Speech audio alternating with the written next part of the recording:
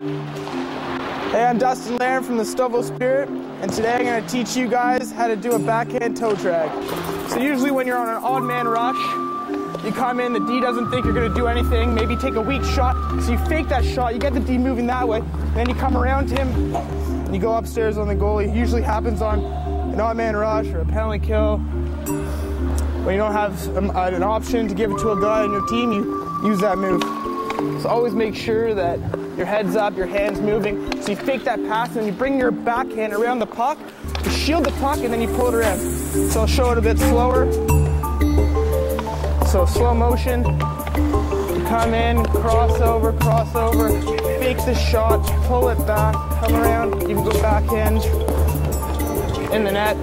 On an odd man rush, you don't have much of an option. You come into the middle, you fake that D's biting, you pull the backhand around, you come in, and you score. All right, I'm Dustin Laren. Pleasure to show you the backhand toe drag. Uh, just remember, kids, when you go in, keep your head up, keep your feet moving. Make sure that uh, you fake that shot or pass and you pull that puck around and you just go to the net hard and try to go upstairs.